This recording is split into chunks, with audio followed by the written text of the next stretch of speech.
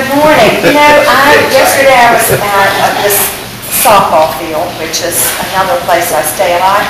And while I was there, I called Pastor Tom and I was asking him what he was doing for his sermon and so I was going to do something to go along with it. But then I changed my mind last night at nine o'clock because, yeah, uh, for a number of reasons, but one because today's Father's Day. And I just thought I wanted to talk about dads and maybe let you share a couple of things about yours. Now, you know, in the Bible, there is this neat verse, and it goes like this. And you know, this is God talking to us. Listen, my sons and daughters, to a father's instruction. Pay attention and give understanding. So God is saying to us that all of us need to listen to our fathers and certainly our mothers too and that they will teach us the right way to go. Just from that, just that short little phrase.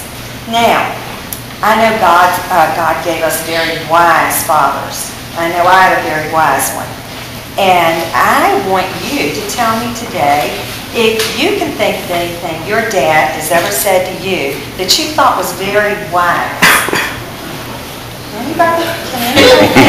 Wise means smart. I, I think this is going to be fun. you know, maybe you were doing something you weren't. Okay, don't forget it because I really want to hear it. You, okay, keep thinking, Grace.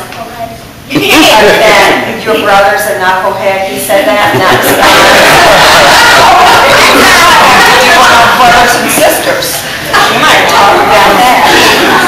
Dads never told you anything to keep you out of trouble or keep you getting hurt. No special wisdoms. Wisdom meaning things you can do so you don't get in trouble. Well, then I've got some things here that some wise fathers said. I'm not going to read them all, but these are wise things that fathers have said to their children sometimes. I'll keep you waiting. I'll keep you waiting. I don't know what wise means. Okay, wise means a smart thing Dad's told you. Something that makes your life better, safer. Oh, he, he helps me go to bed. He helps you. He might say it's time to go to bed. Get your pajamas on. How many times do you say that? Oh, 1900. Okay. All right, well, let's go on to the wise things I have listed here. Ready, guys? Okay, you're talking to your dad and you've asked him something, and I think he's probably said no and you're arguing. And he says, why did I tell you how to go to bed now? Because I said so, that's why. Is that a wisdom? You better believe it, because I said so.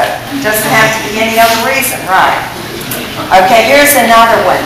And I, my dad never said this to me, but I bet a lot of people have said it. Just wait till you have kids of your own, you'll find out. Okay? And I'm gonna skip some of them, but I like this one. Now, my dad never said this to me, but my husband says, do I look like I'm made out of money? Daddy never said that to me. Not now. I'm watching the game. Ever heard Dad say that wisdom? Yeah. Yeah. I love this one. When you break your leg doing that, don't come running to me. Okay? This is another one. Daddy never said this to me, but my husband did. No, we're not lost. Now we have Understand it. Okay, and fin- finally, I like this one. Be quiet, can't you see I'm trying to think? You gotta be quiet to think. And the number one top saying of a wise father, ready for the number one one? Okay, it says, how should I know? Go ask your mother.